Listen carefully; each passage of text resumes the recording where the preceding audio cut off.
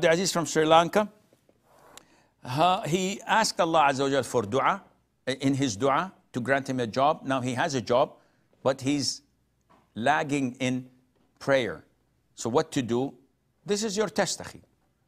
Every one of us has his own test. Your test is, would you prioritize your Islam over your job or the opposite?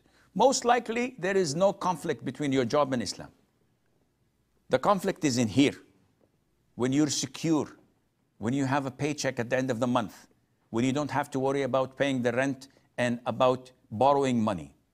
This is when shaitan overwhelms you with thinking that I'm rich, I'm independent, I don't need anybody.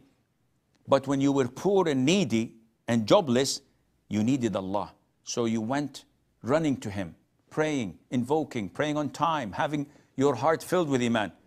This is an indication, Akhi, that you've lost and that you have failed your test. You are in great danger. What to do? Go to your job, but prioritize your prayers, your adhkar, your Quran, your dua, and let it always come first, and everything else come, comes afterwards.